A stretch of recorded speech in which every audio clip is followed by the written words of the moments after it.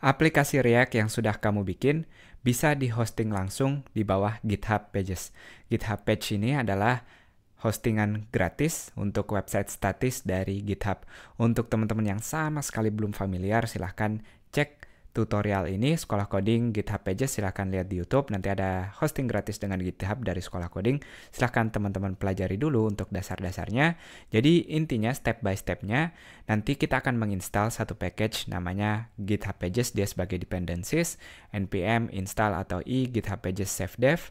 Kalau sudah kita tambahkan di package JSON-nya. Yang pertama adalah homepage dari URL repository kita. Jadi nama repositori yang teman-teman bikin silahkan dimasukkan di package.json-nya nanti kurang lebih seperti ini nama key-nya homepage lalu URL repositori yang teman-teman mau.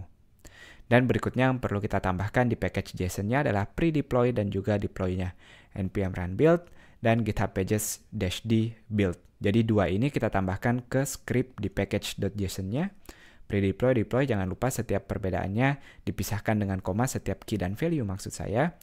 Yang ketiga, silakan setup gitnya kalau belum dibikin reponya. Tentu pada kasus ini teman-teman sudah bikin karena sudah ada URL-nya di sini. Uh, diinisialisasi git seperti push ke repository biasa.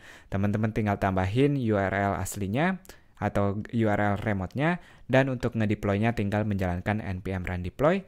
Nanti teman-teman Uh, tidak semuanya di sini akan diupload ke GitHub. Kalau teman-teman mau lihat kurang lebih tampilannya seperti ini. Ini yang akan teman-teman lihat nanti akan ada folder static di sini dan dia otomatis ke branch GitHub Pages-nya.